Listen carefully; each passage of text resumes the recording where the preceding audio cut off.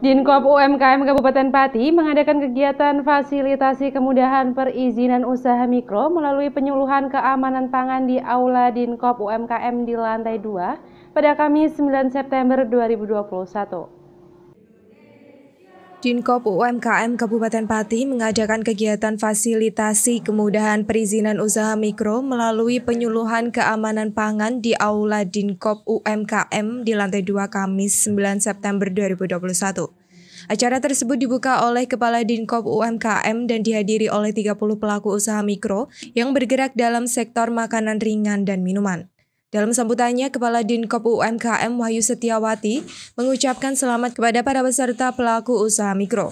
Yang menambahkan ada narasumber yaitu Tri Ari Susanti dari Kantor Pelayanan Pajak dan Retno Edi Hayuningrum dari Dinas Kesehatan Kabupaten Pati. Wahyu menjelaskan kegiatan ini digelar untuk memberikan pengetahuan kepada para pelaku UMKM terkait perizinan usaha. Dalam kegiatan tersebut dijelaskan cara membuat nomor pokok wajib pajak atau NPWP, cara menambah bahan tambahan pangan, hal yang dilarang dalam BTP dan masih banyak lagi. Dari Pati Muhammad Kafi, Mitra Pos melaporkan. Jangan lupa untuk like, share, dan subscribe, serta kunjungi portal media online mitrapos.com.